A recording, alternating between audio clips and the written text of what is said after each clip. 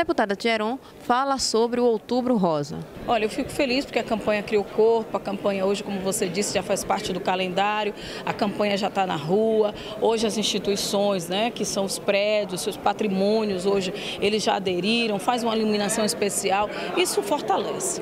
Mas é para além disso que a gente precisa pensar, e eu como parlamentar, eu entendo que como se trata desse ponto que é mais nevrálgico e tem uma necessidade maior, que é a questão do combate ao câncer de mama, precisa ter a intervenção do recurso, né?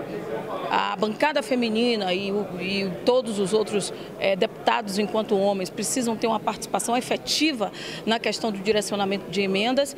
Veja que hoje nós é, falávamos sobre isso e aí destacamos aqueles, aquelas que são portadoras de necessidade especial e que não conseguem fazer os seus exames né, em função é, do, do, da máquina que naturalmente foi construída para atender não aqueles que têm uma necessidade especial.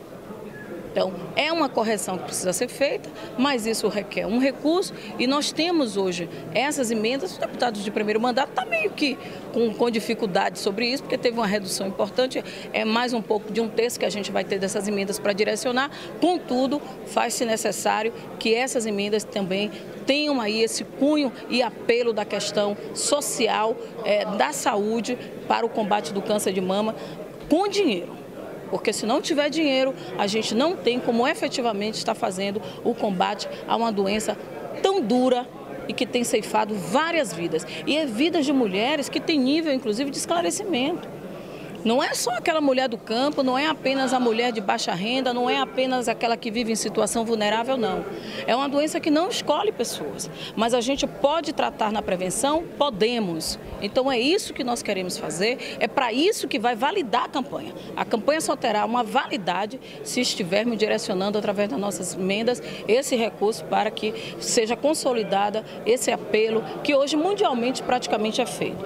Eu quero é, só destacar que eu falava um pouco mais cedo em plenário, sobre a questão também dos homens. Os homens precisam fazer uma participação, não é? Como namorados, como amantes, como amigos, como companheiros, como parceiros, não é? No autoexame dessa mulher. No autoexame.